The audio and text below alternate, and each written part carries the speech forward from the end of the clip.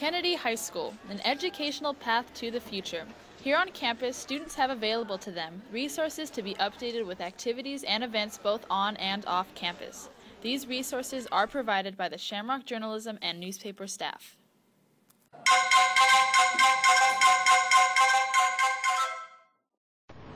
Hi, I'm Mikayla Khramov, And I'm Courtney Bankhead. and this is the Shamrock News. As of the class of 2012 to 2013, we would like to make video announcements on Friday as well as print and online editions.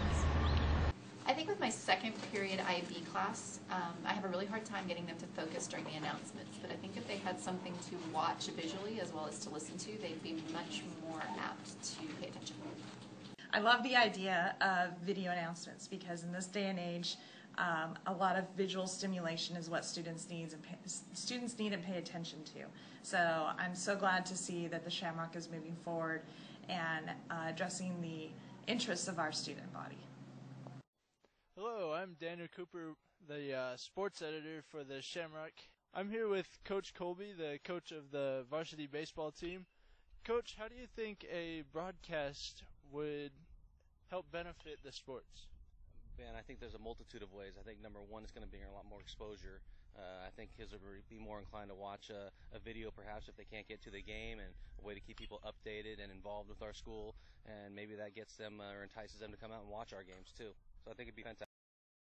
For further investigation with this idea, we'd like to talk to the editor-in-chief, Brittany McClendon. Hi, my name is Brittany McClendon, editor in chief of the Shamrock newspaper.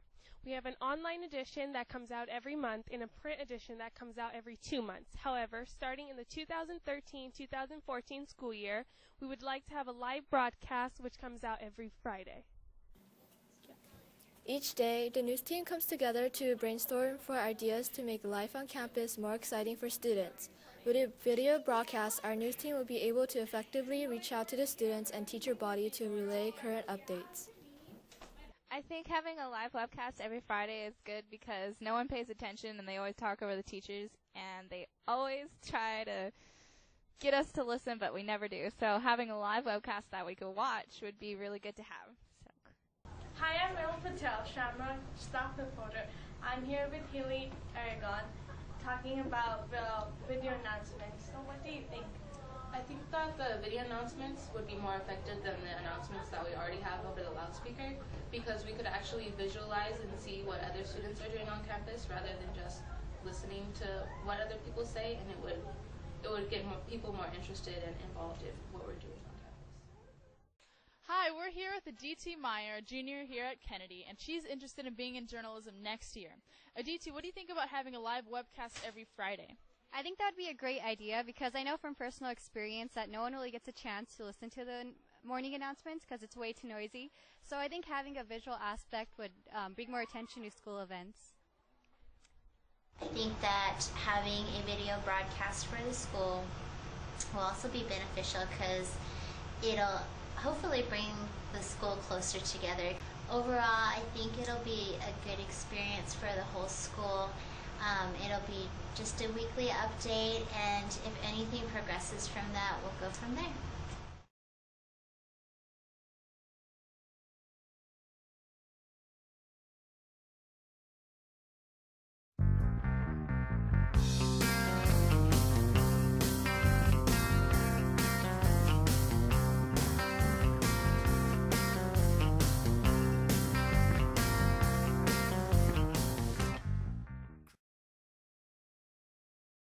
This is the Shamrock News.